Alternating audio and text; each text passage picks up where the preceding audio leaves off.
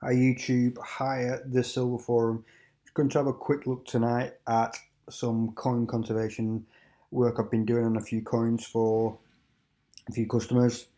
Uh, for, you, for you guys who are trying to find me on the Silver Forum, this is the main page. You can just scroll down past the dealers. I'm just on this little bit here. Double click and this is where I'm. I've got quite a few people now follow me, so it's uh, Thanks to those who are following my little page. This is where you can find where I'm doing grading. I've got a few sales on there. I've got a approved 2022 Sovereign for sale, coin conservation, and some YouTube videos. So we'll crack on. We'll have a look at some of these coins. This is a 1979 proof Sovereign. It's quite common to see coins like this where they've got quite greasy fields, like handling marks on there.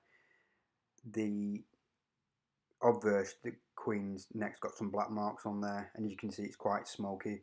I only decided to film this at the last minute, so the footage is not the best, but it gives you the overall feel of the before and after of this particular coin. And like I say, it can be quite gutting when your coin's been in storage for quite a while and it comes out looking like this, uh, but you don't have to despair. You can actually make them look quite good again. The results speak for themselves. Uh, pleased with the overall finish of this coin. You can never make a coin perfect. I'd never admit to that, and anybody who said that would be lying. But you can make a coin look a lot better. There's still a few little areas in there on the fields which is which is not perfect, but it's a big result compared to how it was before. This is a silver proof two pound coin. It's one of my own.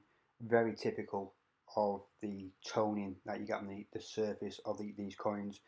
This is one where I struck it myself at the Royal Mint, so I know it's live from from the very second it was minted.